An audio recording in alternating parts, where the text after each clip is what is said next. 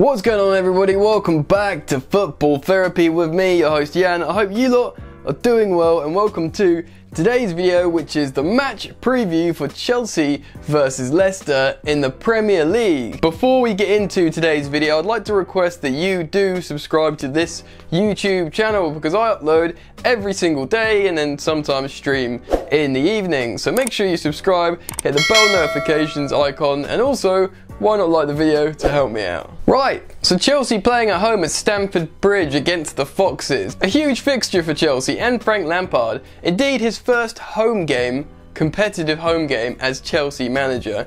It's the homecoming of the golden boy, the prodigal son, returning home, it's to be epic. So you can expect an electric atmosphere from the Stamford Bridge faithful, but good vibes won't be enough to see Chelsea through this match because Leicester City are an incredibly good team, especially under Brendan Rodgers. It won't just be the feel-good factor around Stamford Bridge that should hopefully help Chelsea in this game. Obviously Chelsea have just come out from Istanbul, so yes they'll be tired, but also they should be motivated and driven from what was an absolutely excellent performance against Liverpool in the Super Cup final. There's a few things to talk about in this game, how both teams will approach it, so let's get into it and let's bring up the analysis page. We're going to start by talking about Leicester City and how they might line up against Chelsea. The formation graphic next to me is the personnel that played last time out for Brendan Rodgers against Wolves. As you can see, the predominant shape is 4-1-4-1, but perhaps a 4-5-1 out of possession, and also when attacking, this formation can kind of look like a 4-3-3 also, depending on whether players like Maddison and Ayoze Perez get forward with Jamie Vardy in possession. Just look at this lineup. Leicester City have an incredibly strong squad. Sure, they lost Maguire, but they got loads of money for him. And although Maguire's a very good centre back, losing just a very good centre back when you already have an excellent squad isn't the worst thing in the world. So you can make the argument that the centre back partnership is maybe the weakest part of Leicester's 11, but look at the rest of the field. In the fullbacks position, they have Chilwell and Pereira, which are both incredibly talented players. For my money, they could both be playing in a top four side. And Leicester's midfield is so, so good. Easily better than, say, Manchester United's midfield. You've got Ndidi in there, Tielemans who starts for Belgium, Maddison who sort of floats around in that 10 role, and even Choudhury who's come in who looks like an incredibly physical presence and a great addition to the Leicester team. Obviously they've recently signed Ayoze Perez from Newcastle who was scoring a lot of goals when they bought him, so he's a good age, he's in form and he's in a team that will create more, so he'll probably score goals. And then there's the main man himself, Jamie Vardy. I know he's getting on a bit, but he's still, for me, one of the sort of top tier strikers in the Premier League. And when Brendan Rodgers came into Leicester last season, I think Jamie Vardy was like the form striker of that period. He was scoring a lot of goals. So how will Leicester play? Well, for the last few years, and certainly since they've won the Premier League actually, they've been a really, really strong counter-attacking side.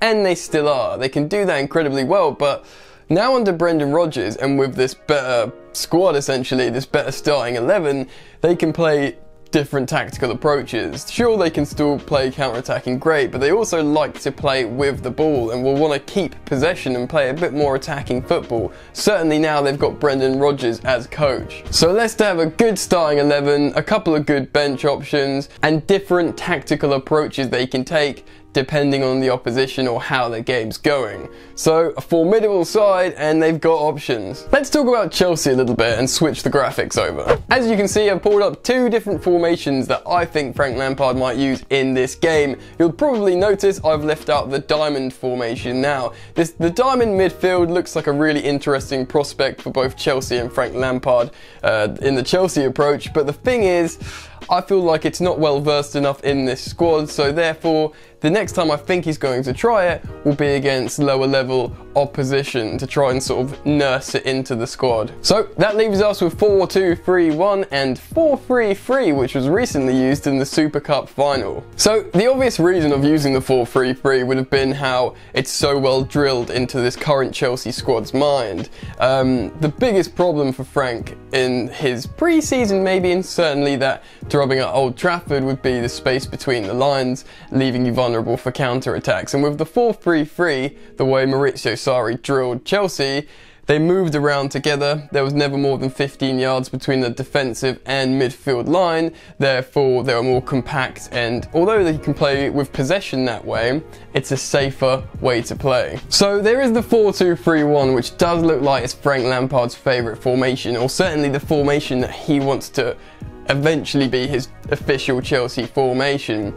But the thing is with that, it does leave Chelsea vulnerable to the counter-attack, especially this current Chelsea side. And if Manchester United can score four with no reply in that formation, a team like Leicester City, who are probably equally as well versed in counter-attacking football, it would be a silly, slightly suicidal approach to play 4-2-3-1 again. So, 4-3-3 again, right? Surely that makes the most sense. Right, so let's assume Frank Lampard will go with the 4-3-3 again because it looked so good last time out in the final. The only real issue here is maybe fatigue because the players played 120 minutes, they had a couple of days rest, less rest than Liverpool, and you know, it's a midweek game and they've got to play another Premier League fixture fixture on the weekend. Certainly Emerson looked like he had a sort of a bit of a groin ache in that game and you couldn't blame him for running up and down for 120 minutes and he was superb in that game. So what, maybe Marcos Alonso comes in at the left back position?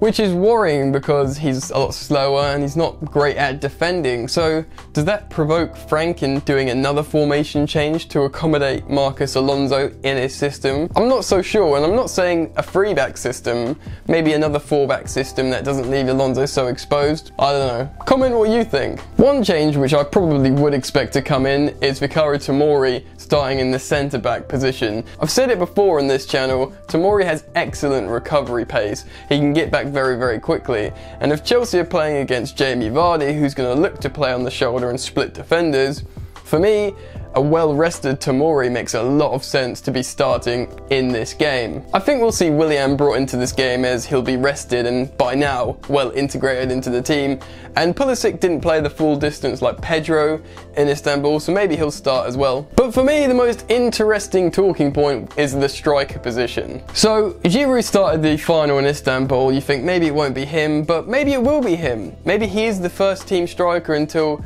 the other guys are ready. I mean, he looks the best. He looks like the strongest option in terms of performance levels at the moment. But then again, you think Michy Batshuayi. He scored two great goals in pre-season, yet he hasn't had a sniff yet in a competitive game.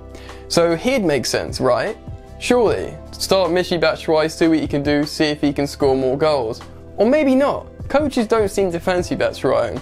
Maybe there's something going on on the training ground that we don't know about. And then there's the case for Tammy Abraham. Maybe it would be a really smart coaching move to put Tammy immediately back in after that penalty miss build up his confidence. Imagine what world of good a goal would do for Tammy Abraham at Stamford Bridge this weekend. Frank Lampard might be thinking that. Maybe pulling him out after a sort of high profile mistake or penalty miss like that would do him more damage. And remember, there's that sort of trail of thought that Tammy Abraham, even if he's not performing as he should be at the moment, stylistically, he is in the mould of the striker that Frank Lampard wants to play in his Chelsea system. So it's a really, really interesting one here and quite a peculiar situation in that you could make a pretty damn strong case for all three strikers to start this game against Leicester. Let me know your thoughts on this. Get down in the comments and tell me who you think should be starting and why. Really interesting talking point that. Anyway, let's talk about the game, how maybe it could go, and let's get rid of this analysis screen. I've said it before and I will reiterate the point that Chelsea, Frank Lampard's Chelsea, don't look like they'll ever have any problem carving out chances. It's just finishing off chances and scoring goals. We've just spoken about the strikers, so there's that issue, although all of them are capable of scoring goals, just maybe not loads of goals. Pulisic does look incredibly bright, and obviously there's the number 10s in uh, Ross Barkley and Mason Mount. I think Ross Barkley might start maybe. He loves a goal and obviously he was the sort of top scorer and form player of pre-season. Who knows, Willian might get off the mark and try and get a double digit season in the Premier League. So of course goals are concerning in this game and I think Leicester might be defensively resolute in this game. I've just got that feeling. But I also feel like they won't play an open game. I feel like they will play counter-attacking football against Chelsea because they know it will suit them. Therefore The space between the lines issue is gonna have to be ironed out. Bringing someone like Tomori in would be great, like I said, uh, playing the 4-3-3, moving around as a unit more would be better as well. But in this game, it's really, really important to marshal Jamie Vardy well, and here's an interesting statistic for you here. Everyone knows about Vardy's record against the top six against versus the top everyone else in the league rather. I think his conversion rate's like 14 or 13% against the bottom 14 sides, but against the top six, his conversion rate is about double that. So he loves scoring against the bigger sides. Peculiar statistic that, but it's true. So Jamie Vardy will need to be marshalled in this game, and he hasn't scored yet. I know it's only been one game, but he will be frothing to score a goal, and he loves scoring against Chelsea. Other than that, there's the obvious dangers of Maddison and Perez. They'll be looking to play between the lines. So if Chelsea did play a 4-2-3-1, that would be another danger of those two intricate sort of inside forward number 10 style players dancing around in that open space, combining and then Jamie Vardy making little runs. It's all very dangerous essentially. And like I said previously in this video, Leicester City are now a much better footballing side offensively. It's not just counter-attacking and they will look to combine in Chelsea's defensive third. Anyway, this will be an interesting game. I do see Chelsea winning it, but I don't see it being an easy game, and I think they'll give themselves trouble. I think it will probably, if I was forced to give a score prediction, I reckon about 3-2 Chelsea. I feel like they will concede because Leicester are good and it will be a high, intense you know, occasion where perhaps you make silly mistakes, but I feel like the crowd will get behind Chelsea and Frank Lampard, and Chelsea have got enough to maybe score three goals in this game and win 3-2. Anyway, what do you guys think? Get down in the comments below and let me know your score predictions and why. I hope you have enjoyed this video guys. If you have, please do like the video and remember to subscribe if you are new to the channel. Uh, a little shout out, follow me on social media at Football Yannick on Twitter and Instagram. Uh, I do post on Instagram every now and again, trying to do it daily, but I don't really have any Instagram followers, so that's where you can help me out. Follow me on Instagram guys. at Football Yannick. Also, I've been doing a lot of evening streams recently uh, on my channel. Why don't you come and hang out, get in the chat, talk about football. It's great fun, and yeah, we can talk about Chelsea. So, usually about 8 pm in the evenings, I'll be doing live streams. Anyway, guys, that's it from me. I hope you have enjoyed today's video. You guys enjoy the football, and I'll see you later. So tough with that bad boy talk. I'ma get it how I'm living, I'ma walk the walk. Outline my lines, I rap through thought. Body bag the verse, outlined in chalk. In my life, seen trouble, hustle on the double, silence on the trigger like my pick got a muzzle. Yo, chick like to guzzle, bad boy stay in trouble. I only love this paper, sorry I don't. I laugh me, baby.